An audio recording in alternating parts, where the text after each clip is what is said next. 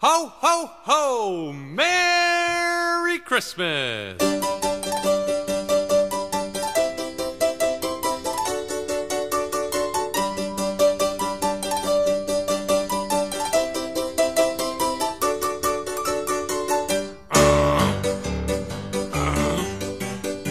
A month or two ago, you asked me for a date. Said for Christmas Eve, by then you'd lose some weight.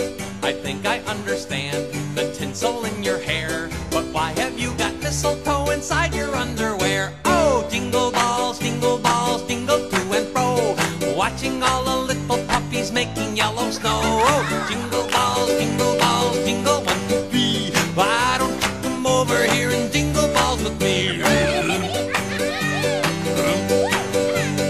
Splashing in your gash on a one horse open sleigh. My parents think you're trash, but I think you're okay. Filling park balloons from a nozzle up my ass. I'd like to fill another,